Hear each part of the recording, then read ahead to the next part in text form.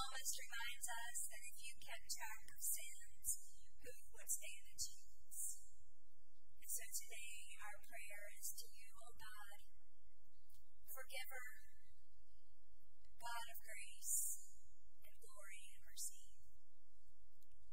Merciful God, we try to hide from your presence, knowing that we have traded your abundant life for a wasteland have not at times followed your will, but instead heed other voices and pursue our own desires at the expense of others.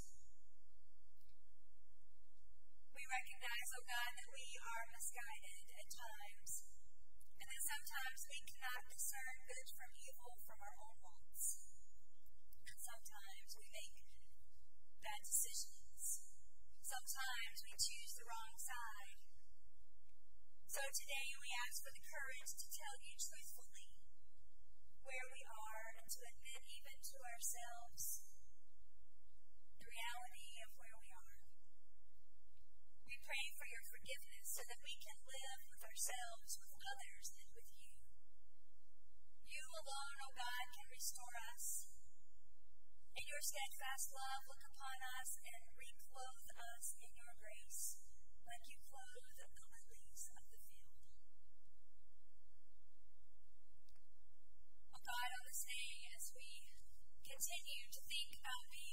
terms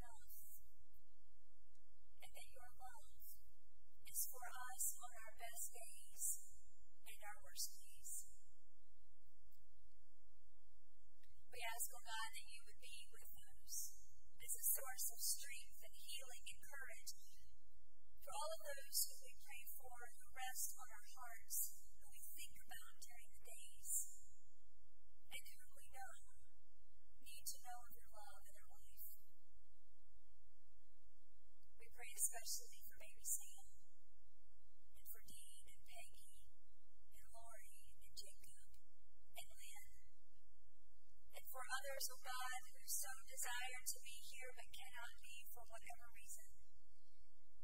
We ask, O God, in your mercy, that your advocate would wrap them in your holy love, reminding them that they are enough and that they are with us, that we continue to be a community and faith together.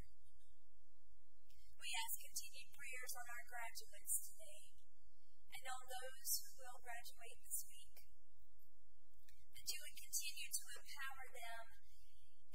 touch the lips of Isaiah, that you too will touch them and cleanse them and send them into this world, O oh God, as messengers of your grace and mercy. It is in your holy and precious name that we collect our voices and lift them united and saying together the prayer, Our brother Jesus.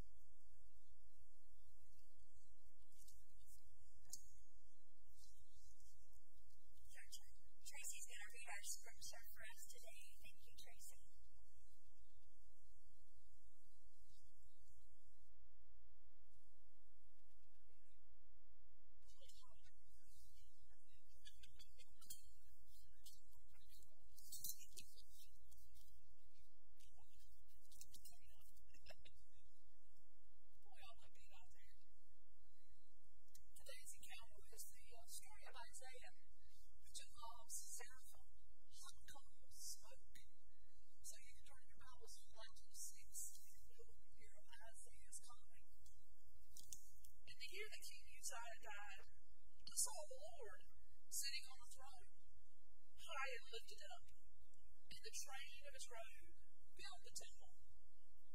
Above it stood seraphim. Each one had six wings. With two he covered his face. With two he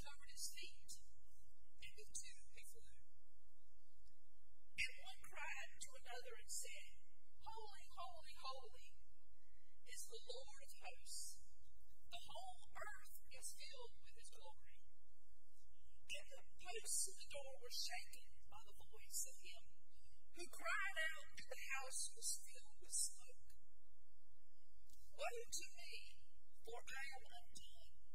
Because I am a man,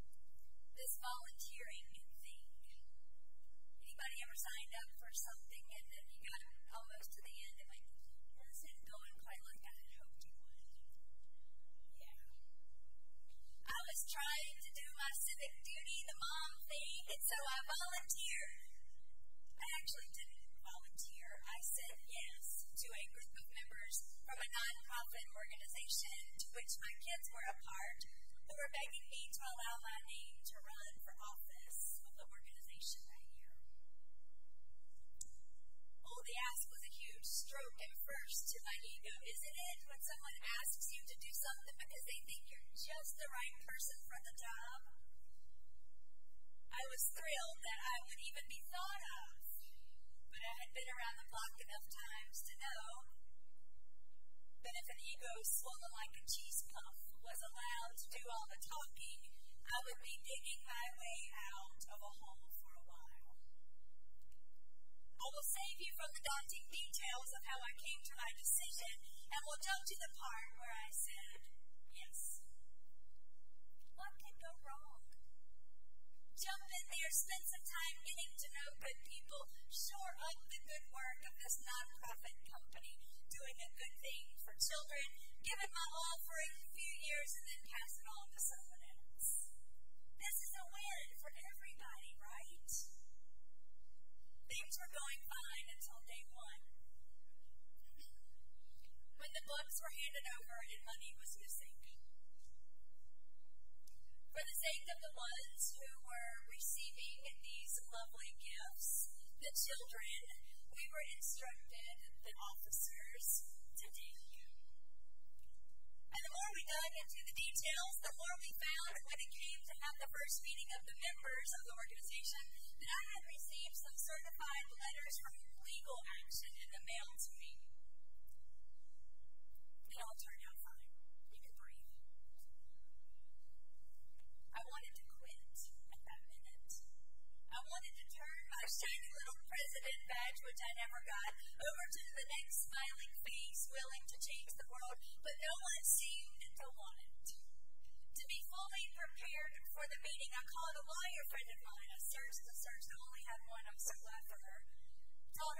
story and asked her what I should do.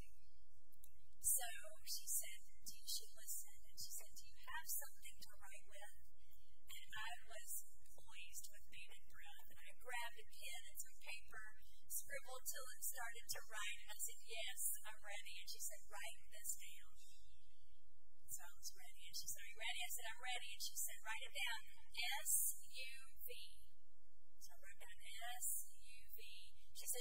know what that stands for?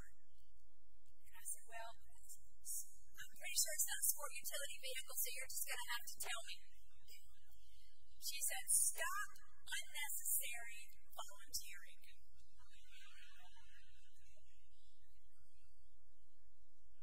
Well, then and now I am a pastor. I didn't quite know what to do with that. The scriptures don't show any hesitation, but I wonder how Isaiah felt about his quick rush to stand up in this meeting with the Holy Spirit and the seraphs to throw himself at the mercy and the mission and say, Here I am, sign me up. I wonder how long he heard the call before he came out from under the pew to show himself in the holiest of places. The seraphs, all of their wings, some covering their heads, as Tracy so aptly read, some doing these amazing things to point to the holy, holy, holy, holy. They cried to each other as if not to miss it the first or the second time. The smoke was filling in the air, and reading about these seraphs and the cherubs, you know, the cherubs are often associated with the angels that are cute and plump, the ones that we see bending over hearts for Valentine's Day. But these seraphs and all of incredible wings just point to the magnificence of something that we could not understand without a picture. And then still, it is not quite exactly what it is.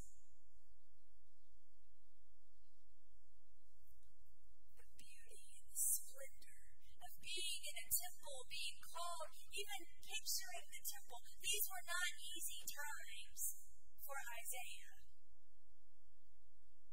It seems like oftentimes the good comes after something terrible. Maybe you've had that experience in your life too, that you can see the light after you've been through the dark. Maybe you've been there. But in our scripture today, this day that Isaiah receives his call to ministry, King Uzziah had died. As if our grief births the new out of the old and dead. It was in the year that King Uzziah died that Isaiah saw the Lord sitting on a throne. After a discussion at Bible study a couple of weeks ago about the meaning of holy, I sat in choir practice and heard Susan ask the choir, to turn to the song we just sang Holy, Holy, Holy. I raised my hand, half being sarcastic and half being completely serious. Can we sing set apart, set apart, set apart, Lord God Almighty? I don't think Susan appreciated my joke, as you may not have just appreciated it. But to be holy is to be set apart, to be set apart, to be set apart. We get in our minds, I think, sometimes that holy is this certain thing where we have our arms clasped and our, legs folded a certain way and we wear certain clothes and we say certain things and do certain things in a very certain way. But to be holy is to be set apart. So before you do anything or before you say anything, we have been set apart. And on this day, when Isaiah was called to volunteer for something I can't imagine he understood what he was getting into, it was on this day that the seraphs were crying to each other, were calling out to each other, Holy, holy, holy, like it was a neon sign in the darkest of nights. Set apart, set apart, set apart. Set apart With light. On this day, in the midst of a year of turmoil, for the king has died, and the Assyrian powers that prevailed over the lands were harsh. Isaiah was sitting in the muck and mire, and he had a holy of holy moments, a moment where the ordinary was made extraordinary. A moment that had been like all other moments, and suddenly the light came, and God was there, and the angels were there, filling the space with space with goodness, setting it apart from destruction and turmoil. A moment of beauty and peace, a moment of power and tranquility, a moment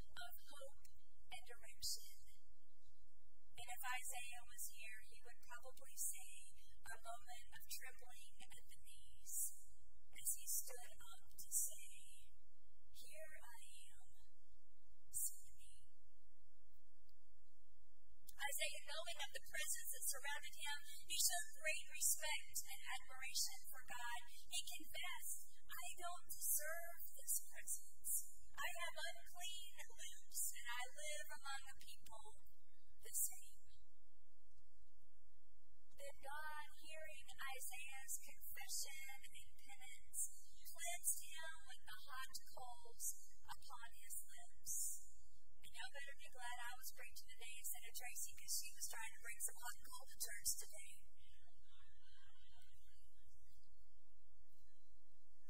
Recognition of Isaiah's great despair, recognition of the pain of the people, and recognition of the hope of the holy among them. God breaks into the hardships and moves Isaiah from a victim to a volunteer. God asks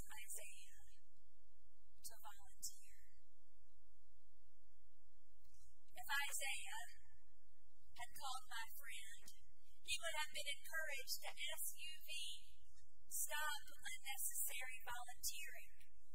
From a legal standpoint, she would have told Isaiah to run in the opposite direction. But God knew something that my friend did not consider in a moment of need. God said to Isaiah, SUV, start unveiling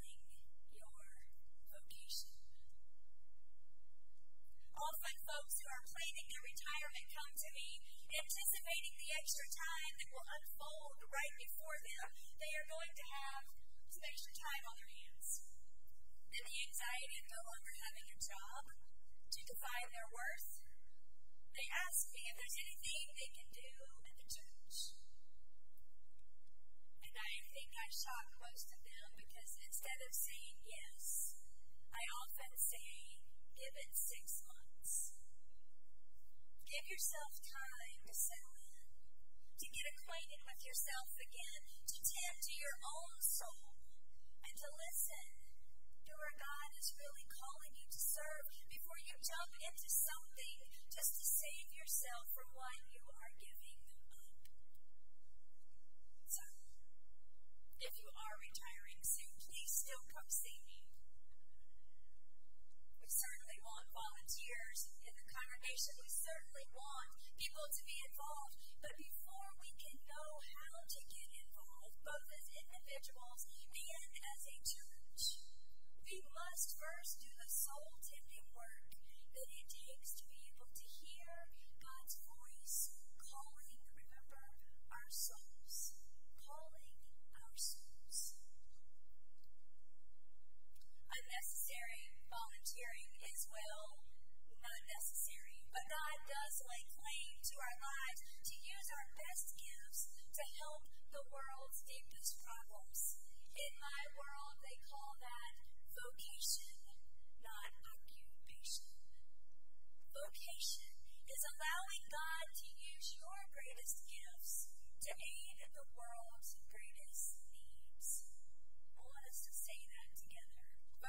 Vocation is allowing God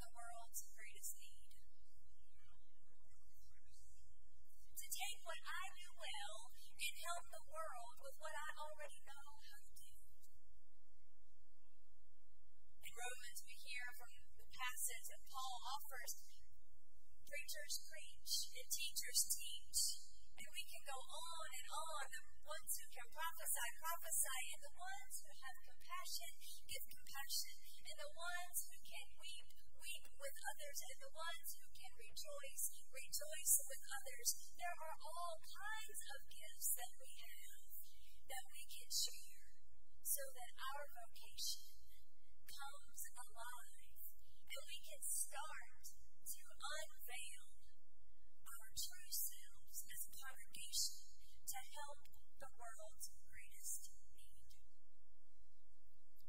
At a time when all over the United States and possibly all over the world, volunteerism is dropping. Churches are hiring more staff to do the same amount of work because there's less volunteers to do the tasks that are needed. I don't always experience that to be true at Mount Hope.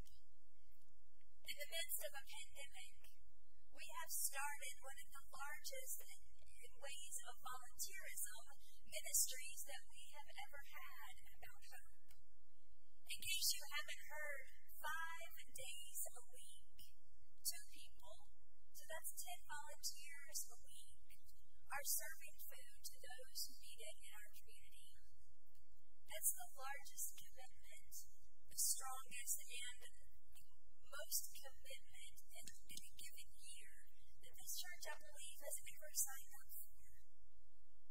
I have been amazed at the gifts that you all have offered in putting seeds in the ground and tending to other, help other churches shore up the needs that they have for their cemeteries and honoring those who have no names and have not been honored by their name. As we have been helping um, Elizabeth Cemetery in Liberty. There have been so many things that have started. We have not only put a ground, a garden here in the ground at Mount Hope Church in the hopes that when we emerge from COVID, we would have a pizza garden ready for the children and youth to make a pizza. We have pizzas of all sorts out there. I sure hope you like lettuce on your pizza, or mustard greens, or all the other things that we have. But not only have we done that here for us, but we heard that Elements Plaza would love some old bushes pulled up because they gave no life to that community of residents. And so we too have placed seeds in the ground there and have helped teach those who wanted to learn about how to care for raising their own produce. And they now are starting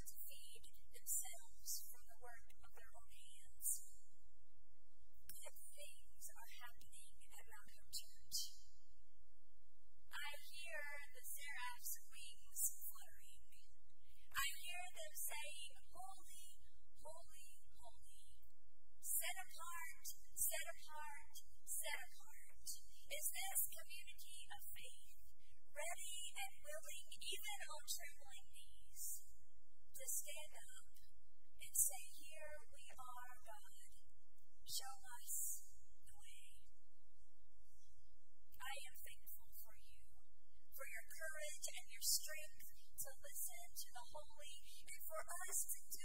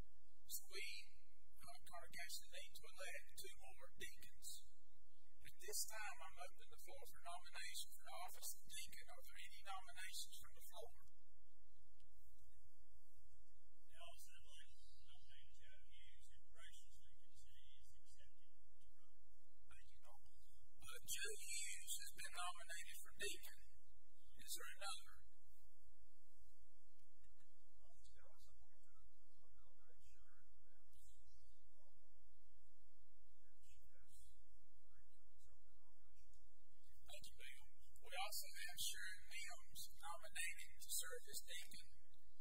Uh, is there any other nominations for the board of uh, office of deacon from the floor at this time? The other nominations will be open for one more week. Next Sunday, I will close them. Then we'll vote on the 13th. We also have to elect a trustee.